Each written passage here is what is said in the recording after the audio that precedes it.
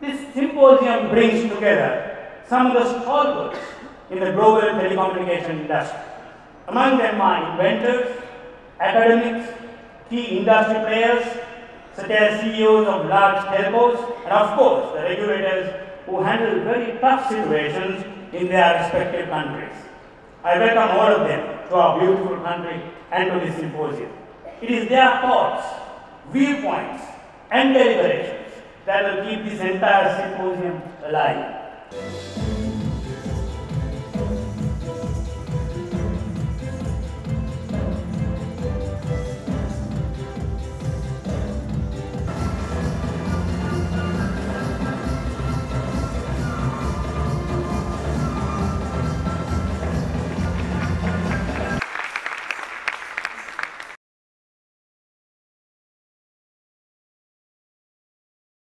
The theme of this year's GSR, Why Regulate in a Network Society, seems particularly appropriate to me as I expect the discussions here in Sri Lanka this week to cover some of the same grounds that will be covered at the World Conference on International Telecommunication Regulations, WCIT 12. WCIT 12 will be making will be taking place in Dubai in early December to look at ways of revising the international telecommunication regulations, the ITRs.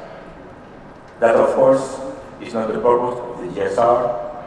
We do not want to be diverted here by discussions of what should or should not go into the revised ITRs.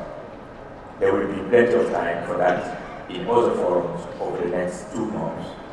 And indeed, via the WCIT open consultation on the IT website, to which I invite you all to contribute to.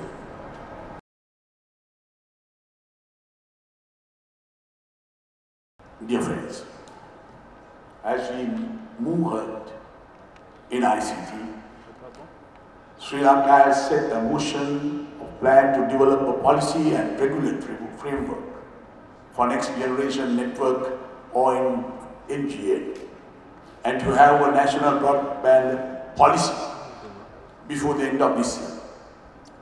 We see the importance of broadband connectivity throughout the land for people to fully benefit from the speedy advances in ICT.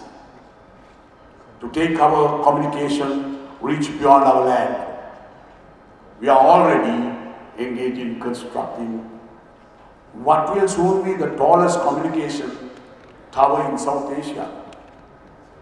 It will give telecommunication, telecom operators the opportunity to share a modern and state-of-the-art infrastructure facility, taking us closer to be the communications hub of South Asia.